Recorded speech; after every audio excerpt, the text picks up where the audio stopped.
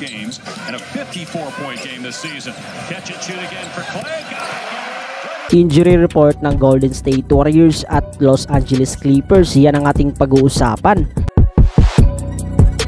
So matapos ang dalawang sunod na panalo ng Warriors kontra sa Bucks at ng Phoenix Suns mga kaibigan, bukas ay mapapalaban na namang muli ang JSW kontra sa kupo ng Los Angeles Clippers. Bukas ay ang ikaapat na harapan ng dalawang team ngayong season. Unang naging bakbakan noong November 24, 2022 kung saan nakuha ng Golden State Warriors ang panalo sa larong iyon sa score na 124 to 107 Ikalawang laban noong February 15, 2023. Sa larong iyon naman mga kaibigan ay nakuha ng Los Angeles Clippers ang panalo sa score na 134 to 124. Ikatlong banggaan noong March 3 ngayong buwan lamang po. Panalo ang JSW sa labang iyon sa score na 115 to 91. Will paniguradong gigil bumawi ang Clippers sa gold-blooded. Dikit rin ang dalawang team na ito sa Western Conference na mayroong parehong win-loss record na 36-33.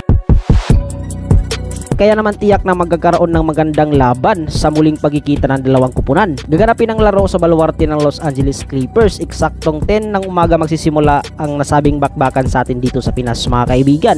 Samantala dumako na tayo ngayon sa injury report ng dalawang grupo. Ayon sa injury report posted by the ESPN,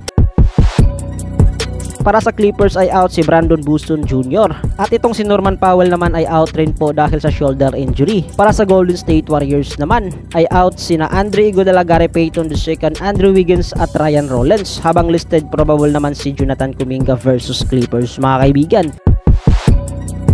Ibig sabihin mataas ang tsansang maglalaro na si Kuminga bukas at questionable naman si Ty Jerome. Out si Igudala bukas pero posibleng maglalaro naman itong si Jonathan Kuminga. Masasabing parang tinitimbang lang talaga ng Warriors ang kanilang lineup sa bawat laban. Tungkol sa muling banggaan ng dalawang kupunan bukas, anong team sa tingin nyo ang mananalo sa Clippers versus JSW? I-comment lang po yan si Babatakin kung babasahin yan. Maraming salamat po.